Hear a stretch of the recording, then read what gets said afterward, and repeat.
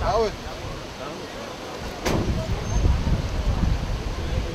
თითოეული ესეთი დარგული ხე არის კიდევ ერთი ნაბიჯი ჩვენი კლიმატის გაუმჯობესებისაკენ და რა თქმა უნდა, ქვეყანაში უნდა გააგრძელოს საწარმოება მუშაობა, მაგრამ პარალელურად ჩვენ ძალიან მნიშვნელოვანი ღონისძიებები უნდა გავატაროთ ჩვენი ბუნების დასაცავად და დღევანდელ დღეს ჯორჯიან მანგანეზის ამ ინიციატივას ძალიან დიდი სიამოვნებით შემოუერთით და როგორც ხედავთ, ახალგაზრდებთან ერთად საკმაოდ ესეთი ლამაზი აქცია გამოგვივიდა ხეების და საქარე ზოლის დარგვის. დაანოს და უკვე მეორე ეტაპის დაწყება ფორმალურად მოხდა რამდენიმე ენერგიის დარგვაც. მეორე ეტაპის იდეა არის ის, რომ შეფესო ჯორჯიან მანგანეზი იღებს ქალაქის გამწვანების საკითხზე პატრონაჟს და ადგილობრივ ხელისუფლებასთან აქტიური თანამშრომლობის ფარგლებში. მეორე ეტაპი იმედი გვაქვს, რომ დასრულდება წარმატებით, რომლის ფარგლებშიც ასევე რამდენიმე ათასი ხე დაირგვება ქალაქის იმ ტერიტორიებზე, სადაც გამწვანება დღეს ყველაზე აქტუალური არის. გარკვეული რა რაოდენობის ენერგები ჩამოტანილია და იქ სადაც ადრე საქარის ზოლი არსებობდა და წლების განმავლობაში ზოგი მოსახლეობის დაუდევრობით ზოგიც რაღაც აუცილებელი მოთხოვნებით გაჩეხილი იქნა და ასე ვთქვათ, აღარ არსებობს, აი ამისი შევსება მოხდება და იქნება აღდგენილი ეს საქარის ზოლი. ახალგაზრდებთან ერთად დავრგებით დაახლოებით 40-50 ციცერი ენერგი ვიმედოვნებთ, რომ თითოეული მათგანი აიზრდება და მოგცემს იმის შესაძლებლობას, რომ ჩვენი გარემო უფრო მეტად დაჯანსაღდეს და თითოეული ჩვენთაგანის სულიერ ფიზიკურ ცხოვრება. მისასალმებელია, რომ კომპანია განაგრძობს განვითარებას და ასევე აქტიურად არის ჩართული სოციალური ტიპის აქციებში. დღევანდელი დღეც ამის დასტურია.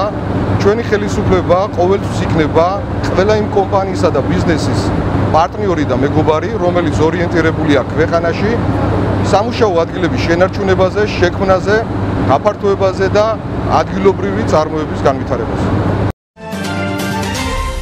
მიმდინარე თვიდან ისევე როგორც ქვეყნის მასშტაბით ხარაგალუში მცხოვრები 70 წელს გადაცილებული პენსიონერები 250 ლარამდე გაზრდილ პენსიას მიიღებენ. მაღალმთიან რეგიონში მცხოვრებნი კი 300 ლარს. მომატებულ ხელფასებს მიიღებენ ასევე სოფლის ამბულატორიის ექიმები და ექთნები, სოციალური აგენტები და სასწრაფო სამედიცინო დახმარების პერსონალი. ამ თვიდან ფერმერები საწვავზე ფასდაკლების ბარათით სარგებლობას შეძლებენ. აღნიშნულთან დაკავშირებით ხარაგაულის მოსახლეობის კომენტარები ჩავწერეთ და ახლა თქვენ მისი მოსმენის საშუალება გაქვთ. ვიწევ ძალიან ბევრი ფიზიკური შრომა, ძალიან ბევრი გამოძახებები, ისეთი, რომელიც მართლა მოითხოვს ძალიან დიდ შრომას, ძალისხმევას და დიდ ენერგიას. ვკირდებოდნენ და უკვე გავიგეთ, რომ მოგვემატა და ძალიან კმაყოფილი ვართ ამ მომატებით. ახლა 12 12 მონეთი რო იყო, ვერაფერს ვაყიდლებ. ახლა 200 მეტია ძმო. წელსიერად რომ მე კიდო კაცი ასე გეყოფა პურის ქვის იყიდი იმას იყიდი ამას აბარავა გინდა ძალიან კარგი პენსია 80 პურის ყიდლო სიდამდვილეში ყველასთვის მithქვია მე რომ არ აფასებთ რაც აგაქვთ მეთი სადგურჯია მე ზესაფოში ვარ წაზე ქალები რო წუწუნდეთ. მაყოფილი ვარ და ყველანაირად კმაყოფილი ვარ და თუ კიდევ მოამატებენ უკეთესი იქნება. ვარ კმაყოფილი ახლა რო არ მოეცათ ესეც, მაგრამ ცოტა დაუგვიანდათ გესმის? დიზელი რო ცოტა ადრე მოეცათ, ან სასუქი ადრე მოეცათ, აღარ ვიყიდდი. დრო იყო ამას, რომ უნდა მიაყარო უკვე, გესმის? საფაზროსთან შედარებით იაფათ რო იყიდი საწვავს და დახმარებაში სასუქს მოცემე და სხვა მე ქიმიკატებიც ვიყიდე ვენახისთვის და იმისთვის, გამოვიტანე. ვენახი პამიდურებისთვის, აი კერა მაგ პამიდურები და კიტრები. როგორ არ შეუწყო, ფული არ გადავიხადე და ამიხსნეს როგორ გავაკეთო, გავხსნი და გავაკეთებ, მაგრამ უნდა იყოს დროული, უნდა იყოს განმარტებითი, უნდა იცოდეს გლეხმა TBC-ს შენთვის ახალი თაობის მხარდაჭერა სოფელ კვალითის მეათე კლასის მოსწავლე ნანა მომლაძე სტიპენდიანტი გახდა. TBC-ს 2020 წლის 68 სტიპენდია შორის 9 ჯუნიორი ეჩმენდის საქართველოს სტუდენტია, მათ შორის რომლებმაც წარმატებით გაიარეს ჯუნიორის სასწავლო პროგრამები საქართველოს სხვადასხვა სკოლებში, ნანა მომლაძე პირველ ადგილზეა. ნანასა და მის მეგობრებს წარმატებაში არჩევითი საგანი მეწარმეობის საფუძვლები და საგნის მხარდამჭერი ჯუნიორი ეჩმენდ საქართველოს დაეხმარა. ნიშნული ორგანიზაციის მიზანიც არის ის, რომ მოსწავლეებში აამაღლოს ფინანსური წიგნიერება, აამაღლოს სამეწარმეო და სამუშაოსთვის მზაობის უნარჩვევები და იყვნენ ეს მოსწავლეები, როდესაც სკოლას დაამთავრებენ, ჩამოყალიბებული აღნიშნულ უნარჩვევებში.